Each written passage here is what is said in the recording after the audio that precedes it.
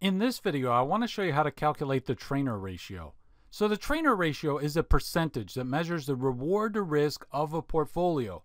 And when I say risk here, I'm referring only to systematic risk. Okay, so that's actually a distinction between the Treynor ratio and the Sharpe ratio. They both measure reward to risk of portfolios, and so in that sense, they can each be used to rank portfolios and see which ones give you the most reward for the amount of risk you're taking on. But the Sharpe ratio is actually looking at the excess return of the portfolio divided by volatility. And if you remember, volatility measures total risk. And when we think about beta, beta is just measuring systematic risk. So when we calculate the Treynor ratio, we're not going to be using volatility like we did with the Sharpe ratio. We're actually going to be using beta. We're going to look at the excess return of the portfolio, and then we're going to divide that by the beta of the portfolio. For this reason, because the Treynor ratio just focuses on systematic risk, we only want to use it if we're looking at a well-diversified portfolio where all of the non-systematic risk has already already been diversified away.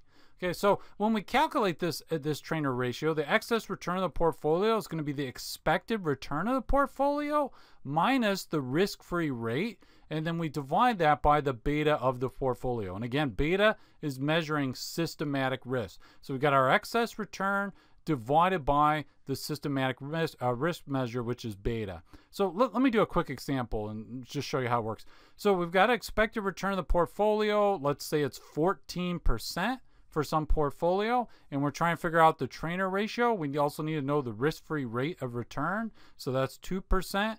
And then let's say that the beta of the portfolio is 3. Okay, so now we know everything we need to know to be able to calculate the Treynor ratio. So we say, okay, what's the expected return of the portfolio? Well, that's 14%. So we take 14% minus the risk-free rate, which is 2%.